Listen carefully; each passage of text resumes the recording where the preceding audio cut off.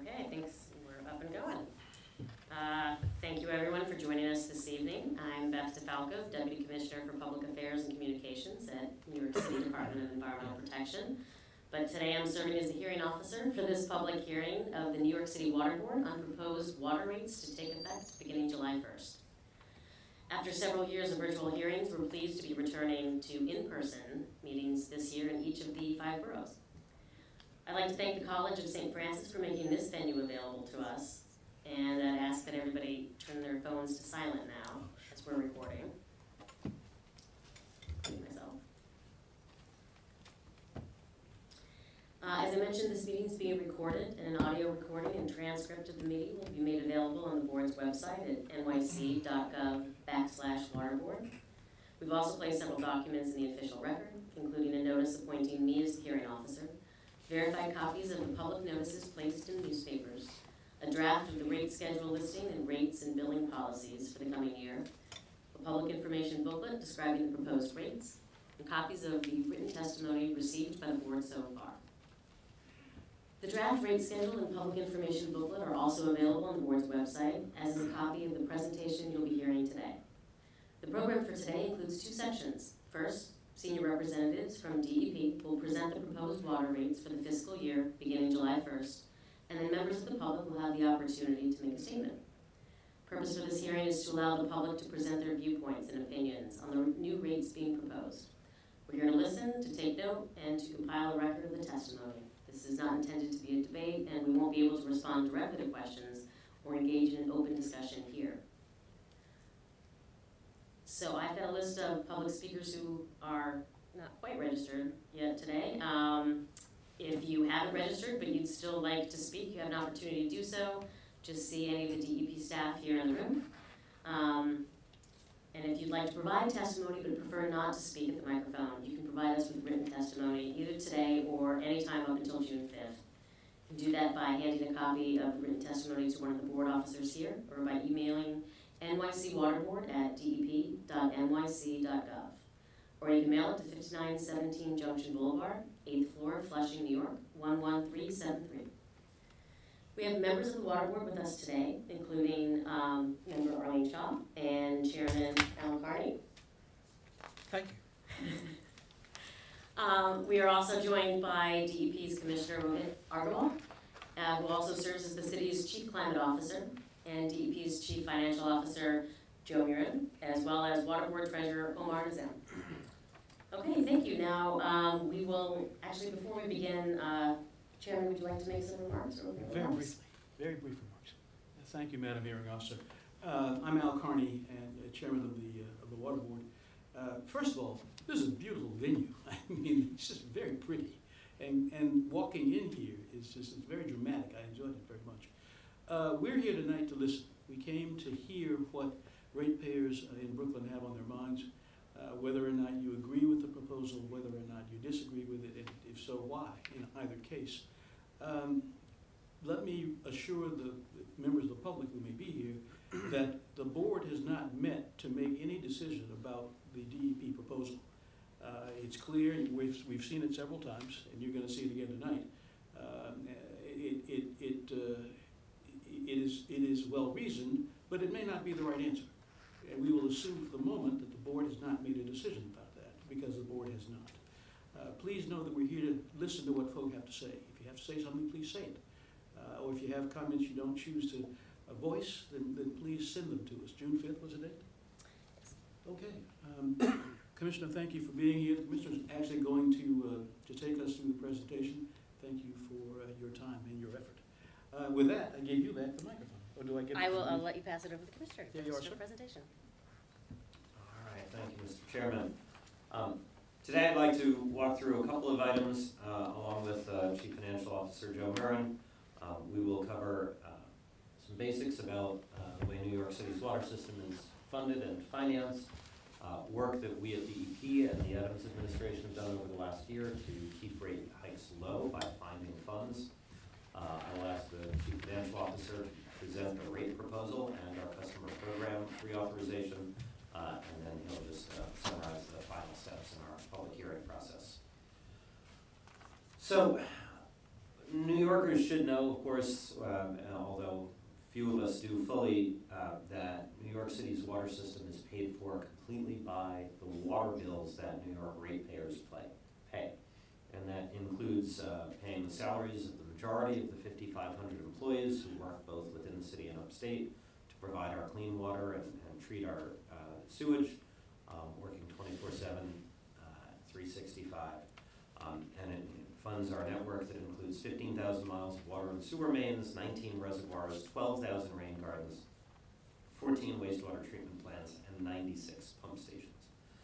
And by and large, our capital investments go into three buckets. One, to keep the water running, keeping our, our reservoirs and our delivery system functioning so that New Yorkers can reliably drink clean and safe water protecting the harbor, and we are so proud at DEP about the fact that New York's harbor is cleaner than it has been in 150 years, which is why we can celebrate seeing whales and dolphins and seahorses in the harbor and, Bronx River as we did at one point this year. Um, and to dealing with climate change. And this is an increasing focus for us uh, as an agency, um, particularly within the city to deal with uh, extreme rainfall that we are facing, that the city saw um, so devastatingly during Hurricane Ida two years ago, um, but also thinking about how rising sea levels might affect our infrastructure and how the increased risk of drought might affect our reservoir system and water quality. And in fact, more than half of the water bills that New Yorkers pay go to capital investment, either in the form of direct funding of capital projects or uh, the vast majority to paying the debt that pays down the investments that we have made and will be making this year in our, um, our water infrastructure. And you see on the right-hand side that DEP over the next ten years has a budget to invest thirty-one billion dollars in its uh, capital uh, program. The majority of that is in the in-city system of water mains, the water distribution number that you see here, and the sewers that, that run through our streets. Uh, another huge component is in water pollution control, investments largely in our wastewater treatment plants to keep them uh, towards a state of good repair, and then an additional three billion dollars in water supply. I'll focus on a couple of projects that uh, DEP has done here in Brooklyn um, over the last year and, and uh, a little bit going forward. We've had some significant upgrades in the Gerritsen Beach neighborhood. Uh, a $30 million project roughly that was completed early this year that we're very proud is below budget and nine months ahead of schedule. Um, and our design work was, was done in-house, included 13,000 feet of water mains, 1,500 feet of sewers, and an additional 1,000 feet of stormwater mains. Um, We took a major step forward this year uh, with a big announcement, including uh, Mayor Adams and EPA Regional Director, Regional Administrator Lisa Garcia, um, at the Gowanus Canal, where we uh, undertook the groundbreaking of the first of two, and and in fact, both of them are under construction now, two groundbreaking uh, storage tanks that will, in one case, hold eight million gallons of combined sewer overflow and keep that uh, sewage from entering the Gowanus Canal once it is cleaned up um, and store it for uh, after storms have passed so it can be treated. This is a total investment of one point six billion dollars over the last several years and over the next several years uh, in that part of Brooklyn. Um, And it will not only manage uh, stormwater, but it will, as I say, significant improvement to the quality of water in the Gowanus Canal and eventually in the harbor. Elsewhere in the system, but relevant to everybody who lives in, in Brooklyn and across the whole city, uh, we have a couple of projects um, affecting the whole system. One will reach milestone, a particular milestone this coming uh, fiscal year, which is the completion of the more than decade-long project to create a bypass for the leaking section of the Delaware Aqueduct, which conveys fifty percent of the city's daily average drinking water. This has been a ten-year-long project to replace a leak or to deal with a leak that's been uh, taking place for probably twenty years. Um, Altogether, roughly a billion-dollar project. We have another hundred million or so to spend to get it to completion. And the major uh, item is that in October of this year, we will be shutting off the Delaware Aqueduct to do about six months' worth of work, we hope only six months, um, to connect the bypass to the rest of the aqueduct and put the bypass into service. This is the largest repair project in New York City's history. Um, and we're particularly proud of the fact that DEP designed this project in-house, which both saved money and ensured uh, the high quality that we expect. Because all of our water bill, all of our funding comes from the water rate, uh, we have taken significant steps over the last year to do everything possible to ensure that our water rates are manageable um, and to prevent particularly the high rate of inflation from directly affecting New Yorkers. Um, we- In conjunction with the Water Board, which had to approve some of these programs, uh, we've taken a particular focus on reducing DEP's accounts receivable, like many customer-facing entities around the country and around the world during the pandemic. DEP saw a significant increase in unpaid bills. Um, And so, one thing we did with the Water Board's uh, uh, approval um, back in December is that in January, we started an amnesty program encouraging New Yorkers who had unpaid water bills and offering them uh, partial or total forgiveness of accrued interest if they paid up. I'm pleased to say that that program, which does expire today, um, I think the customer service center is closed at this hour, so I think it is done Officially done. is officially over, um, has collected roughly ninety million dollars from people who had previous balances. Um, and we have dispersed nearly twenty million dollars in interest forgiveness, forgiveness to people who have done the right thing. Um, as part of that, we've also been working very hard to, uh, make low-income New Yorkers, uh, aware of a federally funded, state-administered program called the Low-Income Household Water Assistance Program.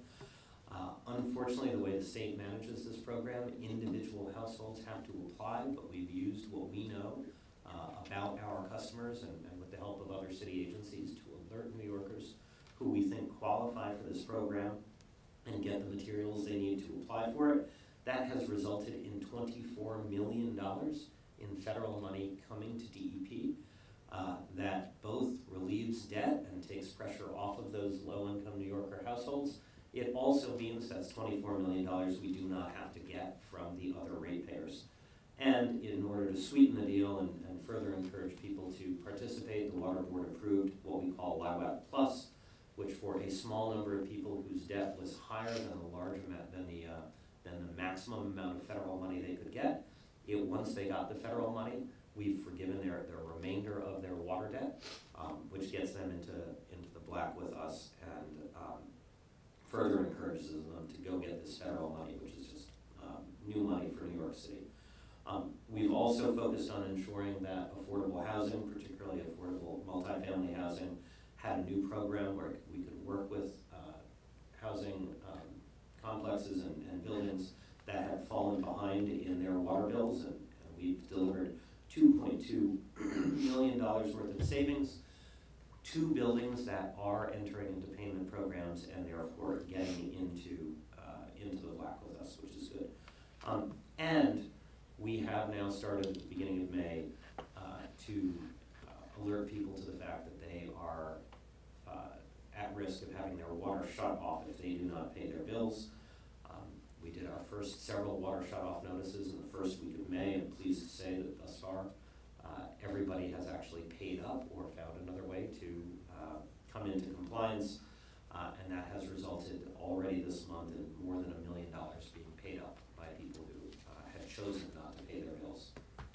Um, And here's just some data showing the fact that as a result of this, uh, since we started the amnesty program, our accounts receivable have now been declining in a way that we think will be uh, steady. Um, We've also been working very hard to take full advantage of federal and state funding that is now available between the bipartisan infrastructure law, the Inflation Reduction Act, and the New York State Environmental Bond Act approved by the state's voters last November. There are billions and billions of dollars that DEP is or should be eligible for, and we are working very hard to get as much of that as possible, because once again, every dollar that we get from another source means it's a dollar we do not have to ask the ratepayers for. And that's one reason that we are particularly uh, concerned about some rules that New York State has put into place when it has uh, the role of distributing money from particularly the bipartisan infrastructure law, where um, several hundred millions of dollars uh, we will be ineligible for under their because of what they call the hardship policy, which defines any city over three hundred thousand residents as not having any disadvantaged communities. So even poor neighborhoods within New York City, we cannot apply for this money on their behalf because they happen to be in a large city. Um, and there is only one city in all of New York State that is made ineligible for this money by this rule. And it is not a law, it is not a congressional mandate, executive decision at the discretion of the New York State Department of Health and the Environmental Facilities Corporation. They could eliminate this tomorrow. Um, in any case, altogether, we are working very hard to get as much money as possible from other sources, from people who are in arrears, from the federal government, from the state government, because every dollar we can get from those sources means it's a dollar we do not ask the ratepayers for. And now I will ask the chief financial officer to take us through the rate. Thank you, Commissioner. Um, Good afternoon or good evening, everyone. Uh, So DEP's billing, as Commissioner laid out, DEP's billing and alternative collection strategies and its careful management of operations and the capital program have enabled us to propose a moderate rate increase at this time. um, When elevated costs remain, you know, have been throughout the economy at this, also. Uh, Right now, for fiscal year twenty-three, which is just ending on June thirtieth, we're projected to have four billion dollars in expense. As the commissioner noted, two billion of that, or slightly more than two billion, is related to debt service and pay, you know, uh, cash finance capital. That's projected to go up to two point two billion dollars for fiscal year twenty-four, primarily due to the growing capital program, as well as, you know, anticipated higher interest rates on the debt service costs. DEP's operations and maintenance expense are approximately one point eight billion dollars for this year, projected to go almost up to one point nine billion for fiscal year twenty-four, an increase of slightly over hundred million dollars. A significant element of that is the recently settled, you know, deputy, uh, uh, District Council thirty-seven labor agreement, which, uh, you know, will also be assumed across the board for all the other unions that, the, that are covered by DEP. That's expected to cost us seventy-four million dollars both in retro costs and costs for this year, as well as going higher in outer years as well. Um, uh, we also are expecting to have, uh, nine million dollars in additional costs related to chemicals and five million dollars in additional costs related to the continued expansion of the billing, uh, system that we just rolled out last year. Next, we have the water board and the water authorities operating expenses, which are basically flat at about hundred million dollars a year. And then we also have the rental payment request by the city, which has not been made at this time. We don't expect that to happen for fiscal year twenty-three. Moving on, DEP is- proposing a four point four two rate increase. As noted, driven by the slightly higher borrowing costs, larger capital program, and the need to invest in staff retention and development throughout, uh, through the O and M budget. Uh, that is, slightly below inflation, so we're pleased that we're able to keep it within line. And I have to say, that I think the, uh, as the commissioner noted, our amnesty program has definitely helped with that. Uh, moving on to the impact of the rate, residential customers with an average level water use will see a small increase in their monthly bill. Right now, the average single family pays about thousand forty-one. The projection is they'll pay thousand eighty-eight in fiscal year twenty-four, an increase of three dollars and eighty-four cents a month. Oh, I'm sorry, yeah. I didn't realize I was supposed to control the comment. Here we are. Sorry, I should have done that, thank you. I do, I do think of it as reading. Um, for the multi-conservation pro, I'm sorry, for the average multifamily meter charge, that's expected to go from seven hundred seventy-three dollars this year to eight hundred eight, an increase of two dollars and eighty-five cents a month. The multifamily conservation program is expected to go from thousand one hundred thirty-four per unit to thousand one hundred eighty-four, an increase of four hundred eighteen dollars. And we're pleased to say that the minimum charge for properties using less than ninety gallons per day, that will remain flat at four hundred sixty-three dollars you know, noting that that benefits many of our seniors on a, you know, fixed income. Um, and then we would, we also like to draw attention to the fact that you know, water rates within New York City continue to be well below the average for the 30 civ- 30 30 cities that we track to. For fiscal year 2023, our 1,041 compares favorably to the 1,309 for the other 30 large cities, a 20% re- you know, uh, discount, or I should say lower than those other cities. Going on to uh, the affordability programs, DEP is rec- recommending a continuation of those programs that the board approved in fiscal year twenty-three um, to continue into fiscal year twenty-four. That is thirty million dollars in customer programs um, budgeted, which uh, is a fifty percent increase from what it was prior to fiscal year twenty-three. That's uh, ten million dollars going to twelve, from ten million to twelve million for multifamily water assistance program, six million, uh, you know, increase to fourteen million dollars in home water assistance program, and the four million dollars that we continue to average on the leak forgiveness program. And these mostly benefit, you know, those multifamily residential properties and small family, small, those homeowners that are on, you know, limited income and qualified.